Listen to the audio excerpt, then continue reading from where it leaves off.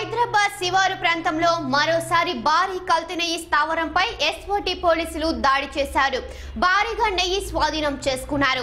Manepalli food product Nacharam పేరుతో Murari dairy product company మేడిపల్లిలో trade licence లేకుండా వ్యాపారాన్ని చేస్తున్నట్లు అధికారులు గుర్తించారు.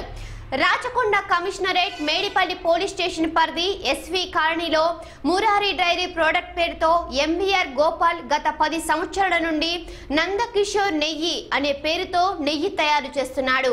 ఈ నెయ్యి ఫామ్ ఆయిల్తో చేస్తున్నాడనే సమాచారంతో ఎస్ఓటి పోలీసులు కొన్ని రోజులుగా రెక్కి నిర్వహించి అనంతరం ఆకస్మిక తనిఖీలు చేశారు. పోలీసుల తనిఖీల్లో నెయ్యి కాచే పెద్ద బాణనిలో ఎలుక చనిపోయి ఉండడాన్ని గమనించిన పోలీసులు పక్కనే పామాయిల్ డబ్బాలు ఉండడంతో కల్తీ జరుగుతుందని నిర్ధారించుకున్నారు. దాదాపుగా నాలుగు క్వింటాల నెయ్యిని స్వాధీనం చేసుకున్నారు.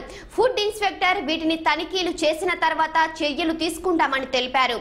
కల్తీ నెయ్యితో పాటు సైండే పాలపొడి కుకీన చికెన్ మసాలా గరం మసాలా పసుపు కారం పొడి అల్లం వెల్లుల్లి తయారు చేసి ఇక్కడ నుండి ప్యాకింగ్ చేసి పంపిస్తారు.